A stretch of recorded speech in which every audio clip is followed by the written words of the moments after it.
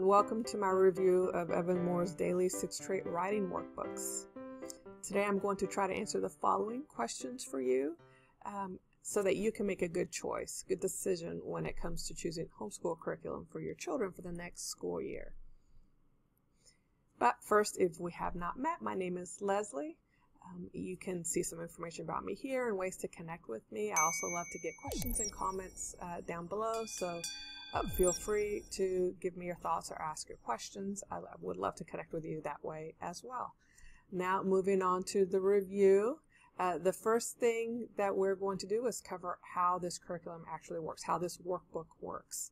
So the first thing to know is that there are 24 weeks of lessons in each workbook.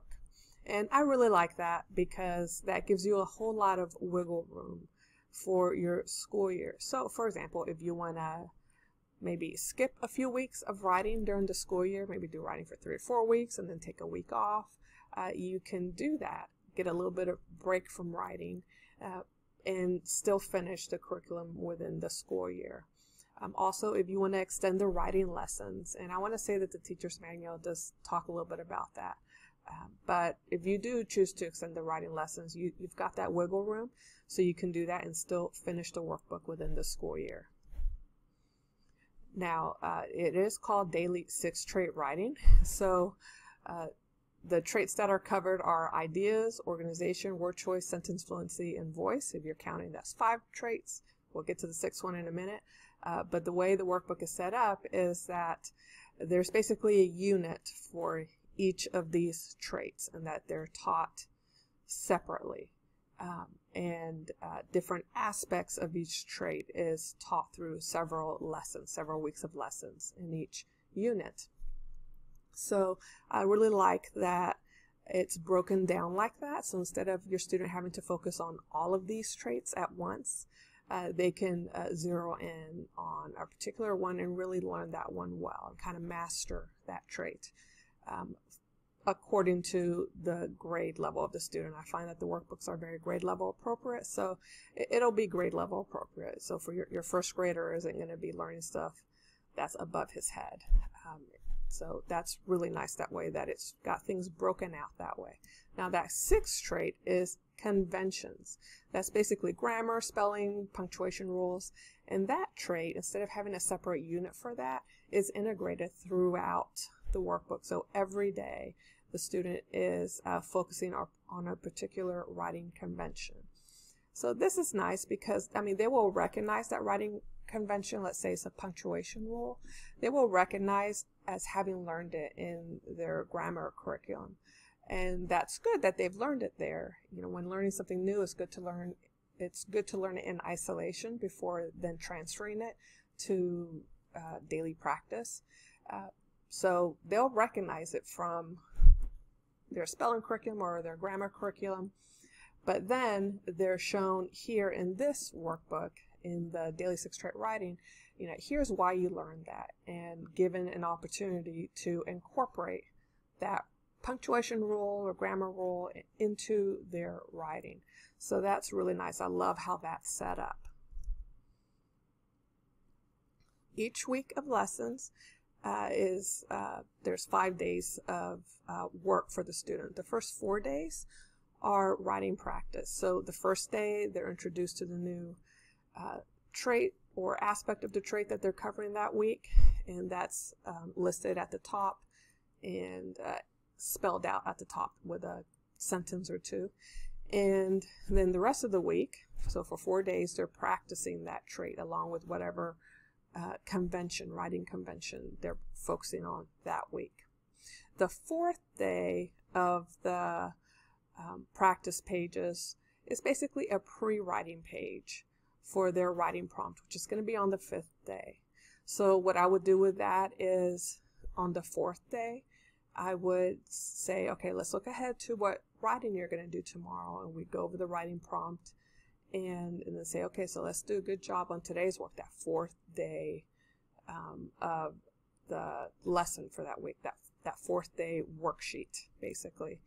Okay, let's do a good job with this because you're going to use the information that you put here for your writing tomorrow. And the better job they do on that fourth day uh, of the activity page, the easier the writing prompt will be for them. Now, what should you purchase if you choose to use this curriculum? Uh, the first thing you'll need is the teacher's manual. It has teacher instructions in there, which are really nice, especially if you're not comfortable with teaching writing.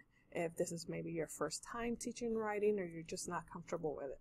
So that, that'll be really nice for you to um, help you along with that. Also includes a scoring rubric. Uh, so if you are into grading your elementary students writing, I don't do that.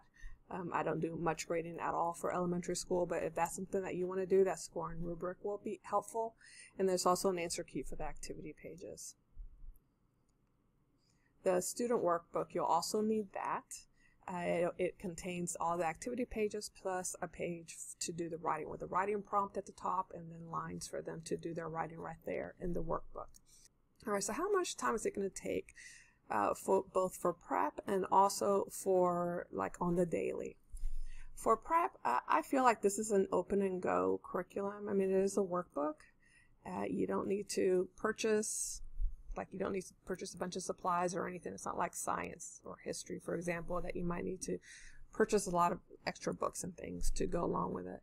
It's it's a workbook, so it's just open and go. Uh, if you do purchase the ebooks, you will need to uh, print those out and assemble the pages, or if you like to take apart your workbooks, maybe to put them into a binder system or um, or like a workbox system, then I mean you'll need to do the work for that. But in general, it's you know other than that, it's um, not a whole lot of prep to go with it. Now, either weekly or on the daily, there will be some teaching required from you. Uh, the workbook pages if you have a student that's a really good reader, they might be fine with just reading what's on the page and uh, learning from there. Like you, you may have a student that does really well with that. But I would still recommend, even if you have a student that's that can do independent work really well, I would still recommend that um, the first day of the lesson, so you know each lesson is five days, so that first day uh, there's going to be a new either trait or aspect of a trait being introduced. So I would still recommend that you spend a few minutes with your student to go over that first page and that trait and introducing that trait to them and um, or that aspect of the trait and ensuring that they um, understand it. Um, ensure that they're not struggling with it. Now, if you have younger students, you may also just want to work with them every day as well. Like with an older student, you may be able to just introduce that trait on day one, then let them work independently for the rest of the week. But for a younger student, you may, especially if they're not a good reader yet, you may want to um, work with them every day. That's what I did with my first grader. I did writing with him every day. Uh, sometimes I would look at the activity page for that day and say, just kind of introduce it real quick and sent him off to work on it on his own because I knew he could. Um, and for my third grader, um, sometimes he would just get started on it his own if he understood what was going on. But every day, um, for both of those students, I expected I might have to spend some time with them with writing uh, because I felt like it was better to spend a couple with a couple of minutes with them each day than um, to you know wait a couple of weeks and realize they don't really know what's going on. so, so um, instead of having to backtrack and spend more time, it's better just to spend a couple of minutes and make sure they master what they're learning each day. Um, now, even if you do have to sit with your students every day to do writing with this workbook, it's still not going to take a lot of time. I would say the activity pages are less than 20 minutes per day, um, maybe even less than 10 minutes. Um, and for the younger grades, maybe much less than that. Uh, they're it's broken down. Writing is broken down so well uh, using the daily six trait writing that that each day's worth of activities doesn't take a whole lot of work. Now the writing prompt page is a different story. Uh, they could still take less than 20 minutes to do the writing prompt, especially if they did really well um, and were very, very complete on that day four writing, pre-writing day. Um, but you know, just depend on your student and how well they prepared for that writing prompt. It, it could take longer. So how do I rate this? So this is using criteria that I use to rate uh, different curriculum options. The first one is it written by experts, and just like with every uh, Evan-Moor product, I make the assumption that it is because they sell to a wide audience, to like traditional schools, uh, like public schools, and so I assume, uh, based on what I see uh, in each workbook, um, and just uh, reputation of the company that it that each workbook is written by an expert. So I give it five stars. Does it include planning suggestions? Um, I include this criteria because if you purchase curriculum that's targeted to homeschoolers, usually they have a section where it's like, here's how you might want to plan this. Uh, this doesn't have that. However, it's so straightforward. You know, 25 weeks of lessons, five days for each lesson. You know, it's so straightforward that I, I kind of feel like it's this is included here. They're, they're telling you here's how to use this curriculum. You do day one, day two, day three. So I say five stars for that because it's so straightforward. Does it teach you how to use it? Again, um, if it's curriculum that's targeted to a homeschooler, then they will have the section about how to use it. This is not targeted to homeschoolers. This is targeted to traditional school settings, to teachers in a traditional classroom setting who are accustomed to creating lesson plans and um, teaching in different ways and um, kind of diversifying their teaching for different students. Uh, so there is some instruction in the teacher's manual about how to use uh, the curriculum, but um, it's not going to be as much as if as if it was written for a homeschooler who does not have a background in teaching and writing. So I give it four stars because, again, it is so straightforward um, and user friendly, um, but it doesn't have maybe some extras that it would have if it were targeted to a homeschooler. Stepwise learning, I give it five stars because, yes, I mean, the way it's structured is to break down writing into the different traits and then to kind of master different aspects of those traits at a grade level um, appropriate in a grade level appropriate way. So um, in, they're not learning 10 things at a time. They're not learning all six traits at one time. If every week of lessons gave new teaching to the student about each of the traits, this would not be stepwise learning. That's too much at once. But that's not how this is structured. Uh, this is structured to break things down very well into bite-sized pieces. Pieces. So this really nice. That's my favorite kind of learning for my kids. Uh, really, the only way to go as far as I'm concerned. So this does that very well. The Daily Six Trait Writing does that very well. Uh, you don't really need extra supplies for this. Might need it. I'll talk about that a little bit later, but the way the curriculum is set up, you don't need extra supplies, so I don't even consider that. And is it homeschool friendly? Yes, it is. It's not targeted to homeschoolers, but it is homeschool friendly in that it's obvious how to use it and it's broken down so well that even if you're um, not used, not comfortable with teaching writing, I think most people can do a pretty good job with it. So the overall rating I give it is four and a half star, four and a half stars based on these criteria. Now, my overall feelings rating for this is probably closer to four stars, and here's the reason for that. Um, I have not used this for upper grades. I've used this for first grade and third grade, and for those grades, I thought it's great. It's been a great bridge for us to take my students from not being comfortable with writing, not doing any writing at all, to preparing them um, to do more advanced writing, more more robust writing. Uh, but I wonder, with the way it's set up, um, how well it does in the upper grades. I think this goes through eighth grade. So I, I have not used those workbooks, so you know I can't speak to that. But I, I just wonder, um, with the way it's structured, would this give my students the writing skills that I want to give them starting fourth, fifth grade?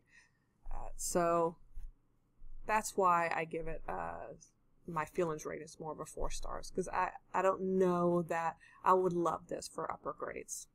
It's the bottom line there. So anyway, so how will this work well for your family? And so here's what I do when I'm determining, um, when I'm trying to decide if a particular curriculum option will work well for one of my students. I look at what learning methods uh, that student, that particular student, uh, uh does well with. Like, what are the learning methods or the teaching methods that spark my students' attentiveness, that help them to uh, process the learning and to uh, put it into practice. So what learning methods work well for them, and then also what social setting works well. Do they do well in a group? You know, will they do well learning this in a group, or will uh, working one-on-one with me be best, or will they be able to do this independently? You know, is is that going to work out for them? Will they learn this well independently? Uh, so I look at all those things. So if we look at daily six trait writing, you know, obviously not every curriculum is going to be a home run for each of these things I have here on this table. So for this uh, curriculum in particular, since it is a workbook style, I'd say it works best for students who really do well with the written word, uh, who can just take a workbook, read the instructions on there, understand it, uh, can do writing on their own um, without any struggle, and who like to work independently. So a social setting of independent work. So I would say that's the best type of student to to use daily six trait writing. However, what if you have a student who um, needs to use the listening learning method, listening to the spoken word because maybe they're young and um, they don't really read well um, on their own yet and can't read the, all the instructions or understand all the instructions or it's a struggle for them or maybe they just process information better when they listen to it.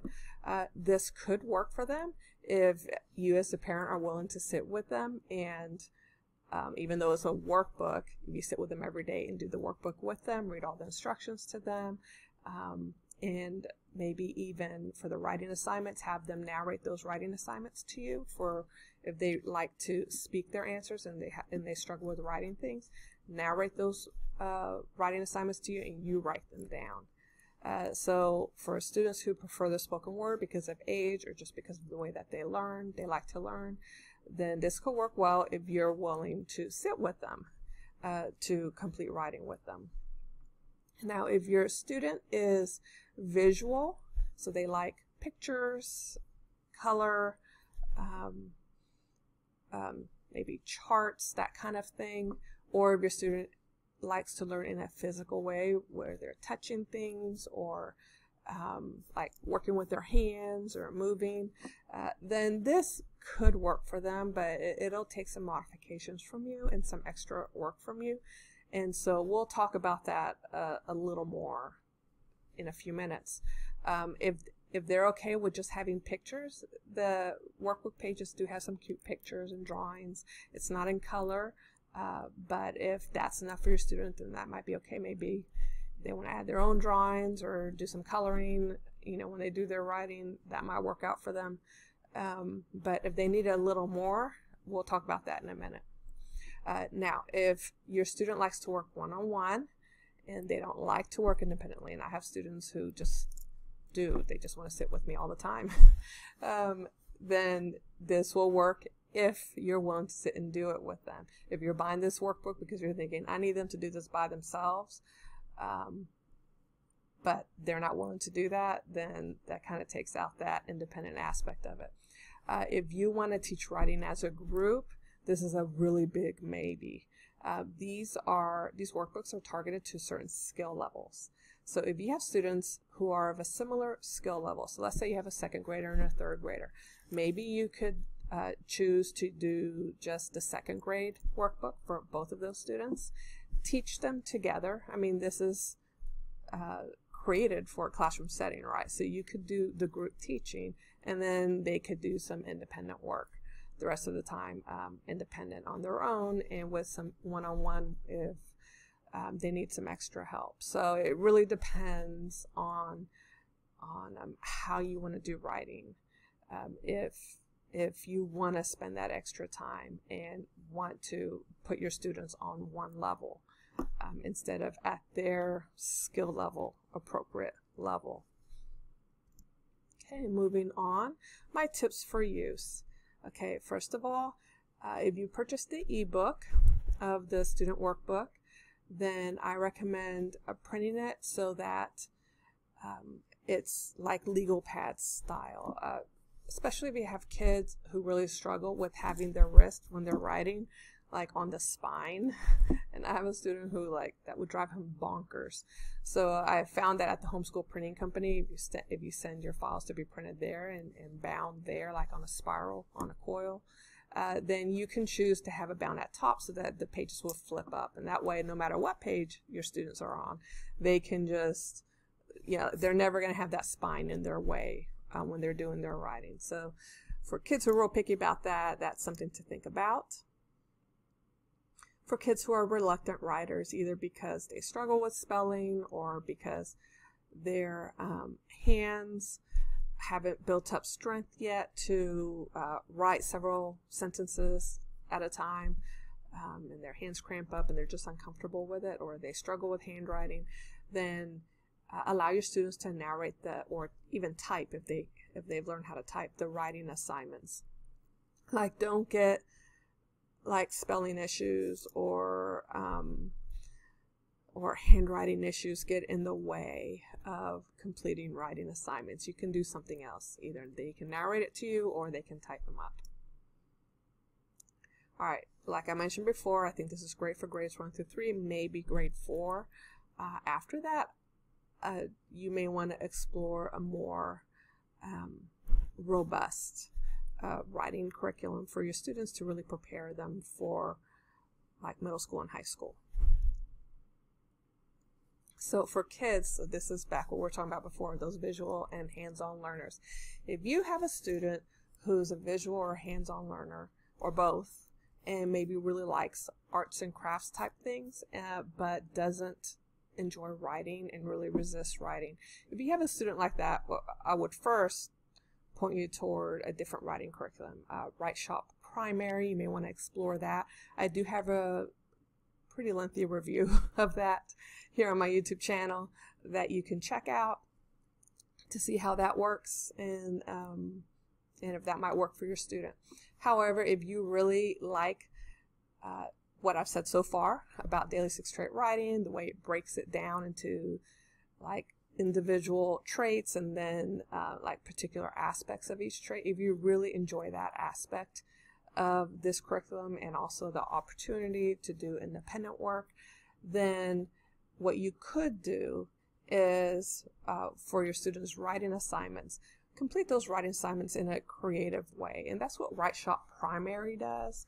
Uh, the writing assignments are all published in some interesting creative way. Uh, so, for example, maybe doing a card, creating a card, or uh, a game, and like they do their writing assignment, but then that writing assignment is put like on the game board. So there's like fun, uh, crafty activities to do for every writing assignment.